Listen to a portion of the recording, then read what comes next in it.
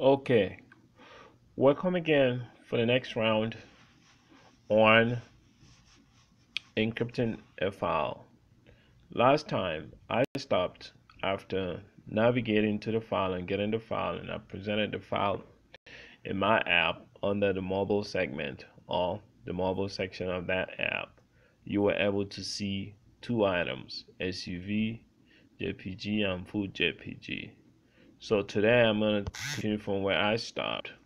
I was able to show the file was actually in my car. So since you are quite uh, you're acquainted with that, I will go ahead and open up that same one again.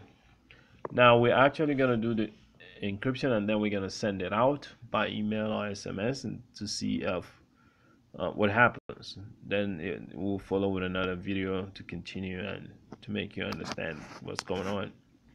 Well, we put on the passphrase again to continue, uh, which always going to be the same thing.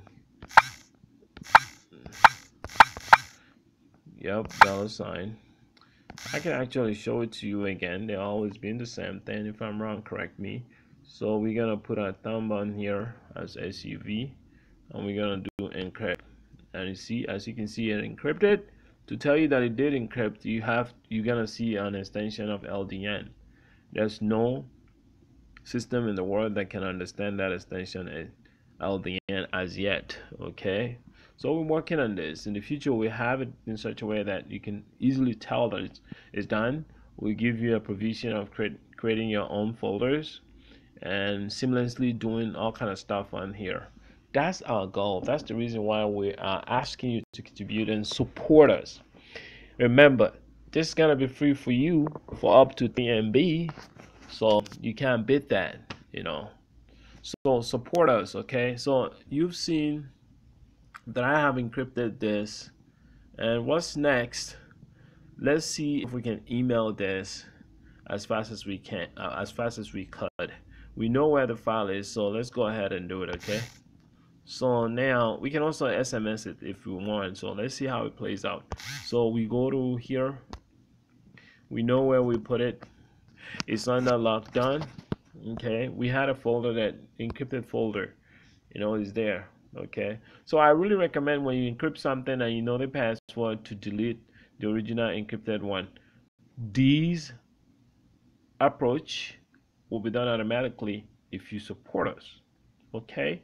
So this is it here. When we encrypted you can you can see the extension there. And you can rename it but I, I don't recommend that you rename it because if you do you're gonna mess things up. So basically what you want to do is you want to share it okay? From here all the integrated stuff that I have is I have a bot scripter I have email I have Gmail. So I can integrate it these ways. But there are other many other ways to that could be it could be integrated. So you can send it across. You can bluetooth it. You can do all kind of stuff with it. But this time we got you ju we're just gonna send an email. Okay? Let's send an email to me. Email goes out and it comes back to me. Okay? So it's j underscore this is gonna be me right here. And it's gonna be a test I'm not sure if it's gonna be sent right away okay? But let's see what happens okay?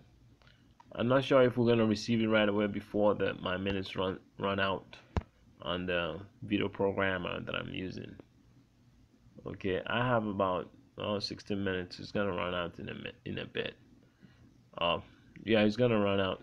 I have about 16 seconds. It's gonna run out in a bit so in the next video I'm gonna show you what happened to that email was sent okay? So what you're taking home this time is that we did encrypt it. And we saw what it looks like when it was encrypted okay? So we also noticed that the folder that was encrypted is kind of funny looking like this. And when you try to open it it will say the file format is not supported so because nobody understands the LDN for now so we continue from here. Thank you and have a nice day.